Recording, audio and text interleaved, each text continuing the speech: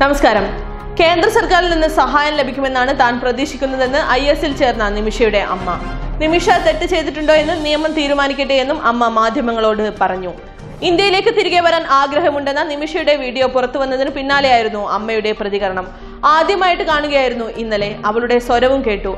ഇതിൽ വലിയ സന്തോഷം.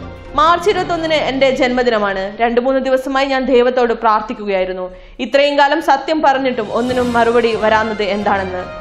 മാർച്ച് ഇരുപത്തൊന്നിന് മുൻപോ അതിനുശേഷമോ മകളുടെ സ്വരമോ അല്ലെങ്കിൽ വീഡിയോ ഒന്ന് കാണാൻ പറ്റണേ എന്ന് പ്രാർത്ഥിച്ചിരുന്നു. അല്ലെങ്കിൽ എന്റെ ജീവിതം ഇതോടെ തീർക്കണമെന്നും എന്നും ഇങ്ങനെ വാവിട്ട് നിലവിളിച്ച് എല്ലാവരുടെയും മുന്നിൽ വേഷം കെട്ടുമ്പോൾ എനിക്ക് ശരിക്കും വിഷമമായിരുന്നു. അമ്മ പറയുന്നു ഒരു പെൺകുട്ടിയുടെ ജീവനാണ് താൻ തിരിച്ചെടുക്കാൻ ശ്രമിക്കുന്നത്. അവൾ തെറ്റുകാരിയാണോ എന്നത് നിയമം തീരുമാനിച്ചോട്ടെ. വീട്ടുകാരും നാട്ടുകാരും എന്നെ വല്ലാതെ ഒറ്റപ്പെടുത്തി. ഇന്നലെ ആ വീഡിയോ കണ്ടപ്പോൾ ഞാൻ ശരിക്കും ഉറങ്ങിയിട്ടില്ല. സംസാരം വീണ്ടും കേട്ടിരിക്കുകയാണ്.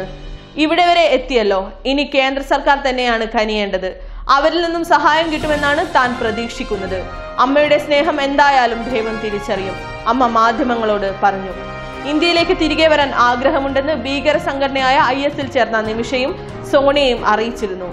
ജയിലിൽ അടക്കില്ലെങ്കിൽ അമ്മയെ കാണാൻ വരണമെന്നുണ്ടെന്ന് നിമിഷ പറഞ്ഞിരുന്നു. രണ്ടായിരത്തി പതിനേഴിലാണ് തിരുവനന്തപുരത്ത് നിന്നും കാസർഗോഡ് നിന്നും നിമിഷയും സോണിയയും ഐ എസിൽ ചേരാനായി ഭർത്താക്കന്മാരോടൊപ്പം ഇവർ രാജ്യം വിട്ടത്. ഇതിനുശേഷം ഇതാദ്യമായാണ് ഇവരുടെ ദൃശ്യങ്ങൾ പുറത്തു വരുന്നത് രണ്ടുപേരുടെയും ഭർത്താക്കന്മാർ കൊല്ലപ്പെട്ടുവെന്ന് ഇരുവരും സ്ഥിരീകരിക്കുന്നു.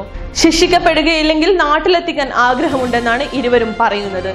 ഇസ്ലാമായി ജീവിക്കുന്നതിനാണ് ഞങ്ങൾ ഐ എഫ് സിൽ ചേർന്ന് അഫ്ഗാനിസ്ഥാനിലേക്ക് പോയത്. എന്നാൽ ആ പ്രതീക്ഷകൾക്കനുസരിച്ച് ജീവിക്കാൻ കഴിഞ്ഞില്ല.